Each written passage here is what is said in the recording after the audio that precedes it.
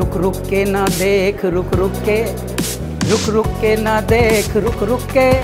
देख बिना break, download तक ऐप।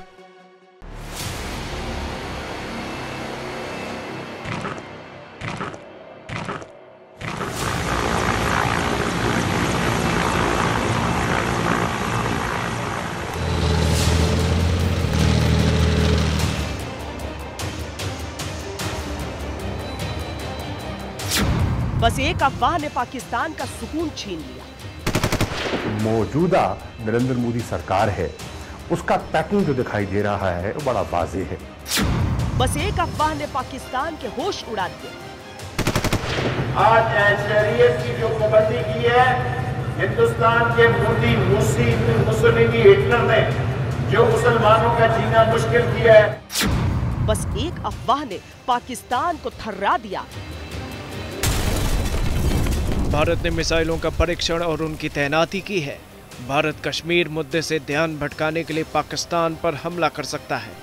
माहौल पहले से तनावपूर्ण है। ऐसे में भारत की गतिविधियों से हालात और भी बिगड़ सकते हैं।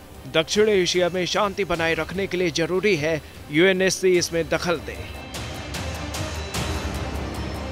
एक अफवाह उड़ी कि हिंदुस्तान ने पीओके से लगी सरहदों से कटीले तारों की बाढ़ हटा दी है और वहाँ टैंकों की तैनाती कर दी है। पूरे पाकिस्तान में हड़कंप मच गया।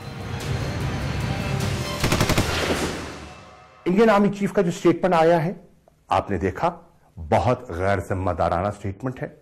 और फिर हमारे हमने जो सिग्नल्स पिक किए हैं, हमारी इंटेलिजेंस ने जो सिग्नल्स पिक किए हैं, हमें लाइन ऑफ़ कंट्रोल पर एक्स्ट्रा ऑर्डनरी मूवमेंट दिखाई दे रही है। डिप्लॉयमेंट्स एक्स्ट्रा ऑर्डनरी मूवमेंट ये सोच सब एक इशारा करती है। एक ये खौफ है पाकिस्तान के वज़ीर खारजा यानी विदेश मंत्री शाह महमूद कुरैशी का जो इसका फटा ढोल लेकर दुनिया भर में बजाते घूम रहे हैं। सच्चाई ये है कि पाकिस्तान लगातार कोई ऐसा मौका तलाश रहा है जब वो किसी बहाने से भारत पर आरोप लगाकर पूरी दुनिया का ध्यान कश्मीर की तरफ़ खींचे।